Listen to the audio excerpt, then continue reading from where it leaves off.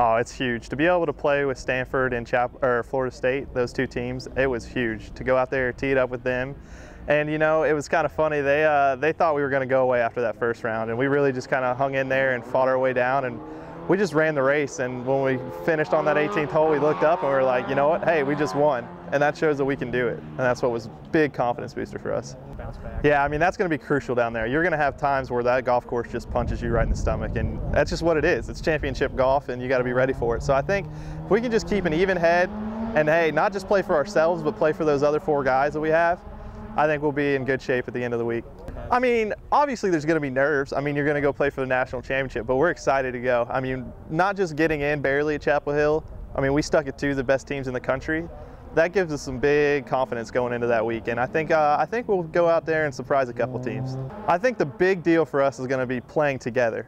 We've always had guys that have played well, maybe had top fives, but we've had also some guys struggling weeks. Last week we all kind of put it together, and I think that's going to be the big part is going out there and playing solid team golf. You know, we've been really working on driving the ball. It's going to be tough down there driving, and um, we've been working on driving the ball and kind of chipping because greens are going to be tough and they're going to be firm and they're going to be fast. So you're going to miss some greens and you got to be able to get up and down.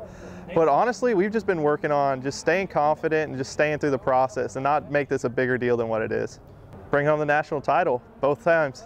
Uh, that's that's my expectations. Now, how we get there is going to be a completely different story. Everybody's going to say they want that. What we got to do is we got to go play for us five.